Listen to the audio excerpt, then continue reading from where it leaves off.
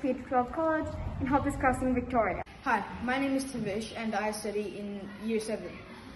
I am very excited for this, uh, for this because this would be a great honor for our school if we participated in this event. Hi, I'm Alyssa from Year 7 and I would love this experience because I've always taken an interest in both space and science and this is a combination of the two. Hi, I'm Bidula from 7A and I am super excited for this event because I've always been fascinated by astrology and this planet is going to go to space!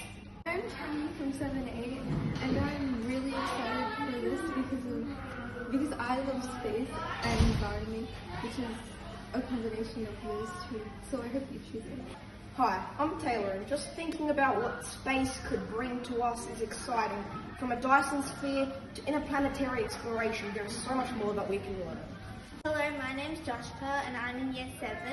I'm really excited for the Seeds in Space project because I think this shows how well we're growing um, and this would be a great way uh, to see if we can grow plants in, the, in space so we can live there. Hi, I'm Aurora and I'm excited for the project um, Seeds in Space because I'm really excited to see what plants will do when they go up into space and then come back down to Earth and then you put them in the ground and see if they grow. Hi, my name is William. I'm in year seven and also I think plants in space would, be would allow us to live on other planets such as the moon and other planets in our solar system and it could also give us creative ways in the future to grow plants.